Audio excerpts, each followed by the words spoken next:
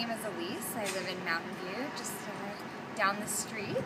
Um, it's probably what everyone else thinks, which is that it's I'll never be able to afford a house unless I move to the East Bay or somewhere somewhere else. But um, I do love this area, so for now we're just gonna keep renting. My name is Sham Sadki, and I'm from Mountain View. Increasing house prices. Um, has affected me. You know, I'm currently in a rental situation, and uh, first-time home buyer would love to have a chance to purchase a home in the beautiful city of Mountain View.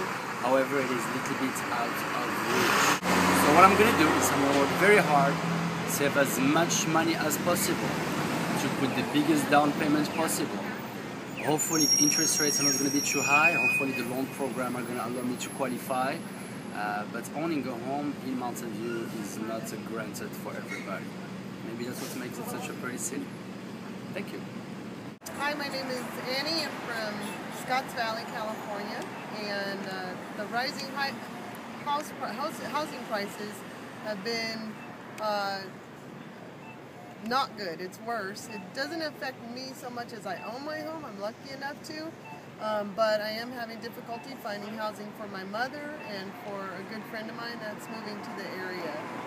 My name's Louise Walker. I'm from San Jose, and housing prices really haven't affected me because I'm a homeowner already. Hi, my name is Ihab Awad. Um, I live in Palo Alto, and um, we live in Palo Alto mainly because of the school district but um, we thought uh, we homeschool our kid now, so we were wondering if maybe we could move somewhere else in the Bay Area.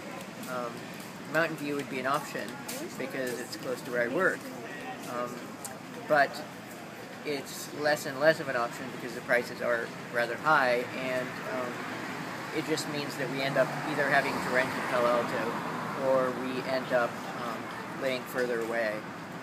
We know for example, it would be ideal for us to live in Santa Cruz, although that's crazy because it's a huge community. So, um, in general, it's a bit of a dilemma. And, you know, it, it, the bottom line for someone like me is that the choice is to essentially sink all of our money into a house, which, given the givens, is a rather scary proposition.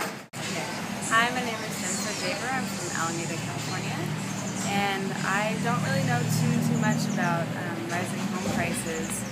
I know that it does in some way affect the rental market and that is more relevant to me. Um, I had attempted to find rental rentals around here, um, but it's just too expensive. And, uh, and I know several people who are trying to buy houses and they've been outbid by several thousands of dollars. So been pretty tough for the people I know, but for me personally, I haven't, I'm not on that avenue yet to buying a house.